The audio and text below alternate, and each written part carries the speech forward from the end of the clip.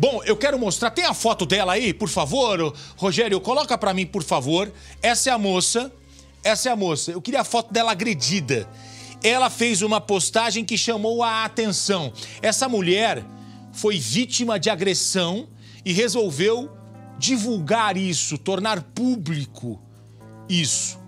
Ela fez um post com fotos para encorajar outras mulheres a denunciar os abusos. Olha, eu não sei, enche a tela, por favor, para o pessoal ver bem. O rosto machucado, a boca machucada. O nome dela é Carla Regina. A Carla namorou um rapaz um ano e oito meses, quase dois anos. Dá tempo de conhecer bem a pessoa. Aí, o casal resolveu morar junto. Aí, o casal resolveu morar junto. Foi aí que começaram as agressões. Foram quatro meses de sofrimento. O agressor mudou. Quando namorava cada um na sua casa, era um tipo de relação. Quando eles foram morar juntos, ele se transformou. Ele mudou e passou a agredi-la, o próprio namorado. Aí ela fez o registro, ela chamou a polícia, ela fez a divulgação, ele foi preso. Mas não ficou muito tempo, não. Pagou fiança e já está nas ruas. Quem é que está com medo agora? Ele, que foi solto? Ou ela, que está presa dentro de casa? O desabafo feito em uma rede social veio acompanhado de fotos com as marcas de agressão. Carla pediu para não divulgarmos a foto do agressor.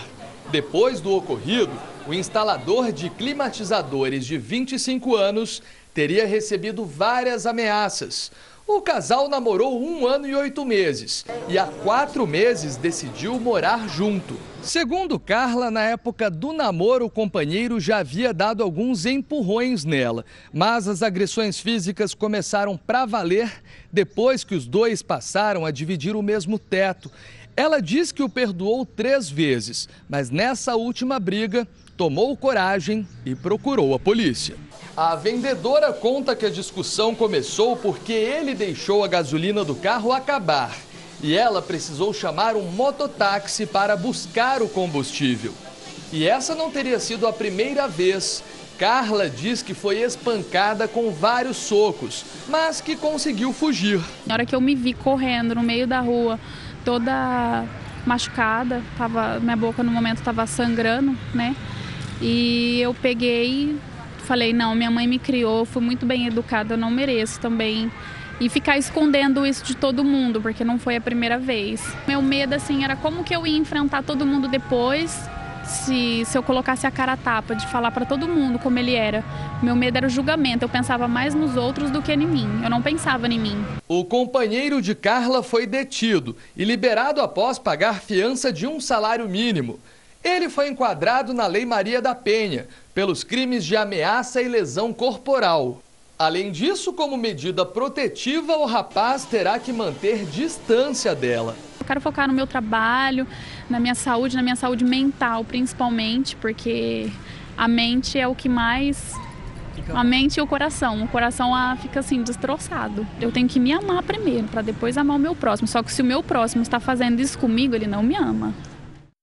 Olha, ô Lombardi, tá aí a moça acabou sendo agredida. Ela que abre o olho, hein? Ela que abre o olho. Então ela vai ter que ficar muito esperta, mas muito esperta mesmo, porque esse sujeito foi preso. Imagina se ele agora o que vai acontecer. Se antes de ser preso ele já agrediu, imagina depois de preso.